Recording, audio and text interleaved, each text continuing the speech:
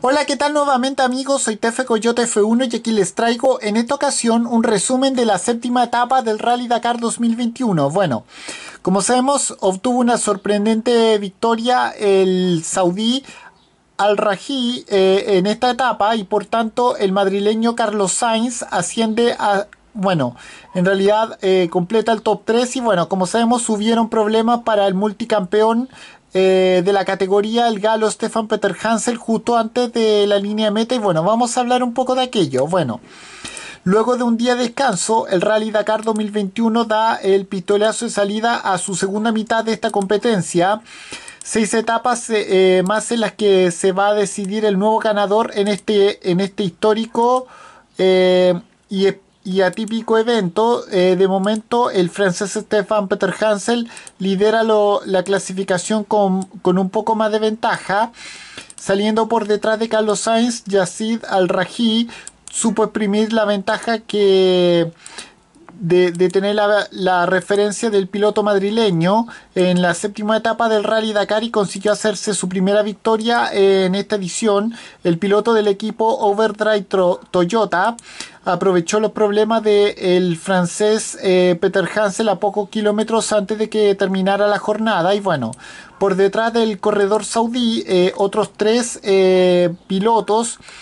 también tuvieron una gran pelea que cambió que cambió de posiciones en diversas ocasiones según transcurría la etapa. Finalmente fue el francés Peter Hansel quien terminó segundo con una diferencia de 48 eh, segundos, mientras que el top 3 lo cerró el español Carlos Sainz, que terminó a 1.5 del líder, justo por delante en cuarto puesto de Nasser Alatilla. Bueno, a pesar de... Eh, a pesar de salir primero después de ganar la sexta etapa de este Dakar 2021, eh, Lucas tanto Carlos Sainz como Lucas Cruz consiguieron salvar un día que no prometía mucho para el dúo español del equipo eh, Minix Raid. Una jornada en que la gran mayoría de pilotos pudieron disfrutar al volante de su máquina después de eh, de muchos días de navegación complicada. Bueno, lo más sorprendente fue la caída repentina a ritmo de el francés Peter Hansen, que luego de ir primero durante eh, la mayor parte de la etapa, pasó de, estar liderando la competencia con unos 3 minutos de ventaja en el penúltimo control a perder 2 minutos en el último eh, WP eh, antes de llegar a la meta en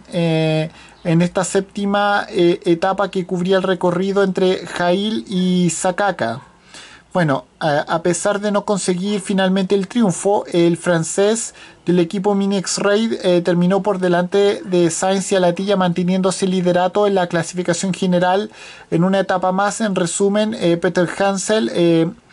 está comandando la clasificación general de corredores teniendo como tiempo 26, 36, 50 con un crono que lo deja por 7.53 eh, delante de Nasser Latilla y, y con respecto a Carlos Sainz 41.6 eh, que mantiene el tercer puesto y continúa peleando sin rendirse. Y bueno con esto me despido. Adiós que chao